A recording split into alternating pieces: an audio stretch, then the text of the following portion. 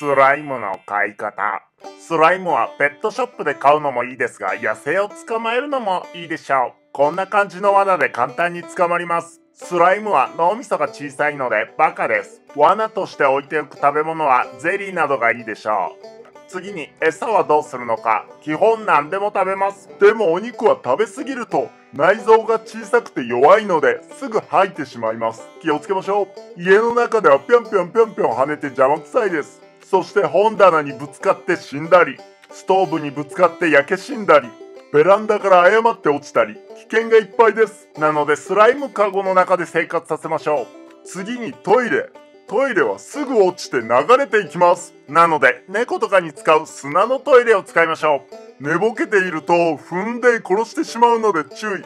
次に散歩。散歩もぴょんぴょん跳ねてどっかに行ってしまいます。なので首輪をつけましょう。と言っても首がないのでぐるぐる巻きにするしかありません。毎回毎回こんな苦労して散歩に行くのは嫌です。なので頭の部分に穴を開けます。この時脳みそをえぐらないように注意。その穴にリングと縄をつければもう完成。これで逃げられないでしょう。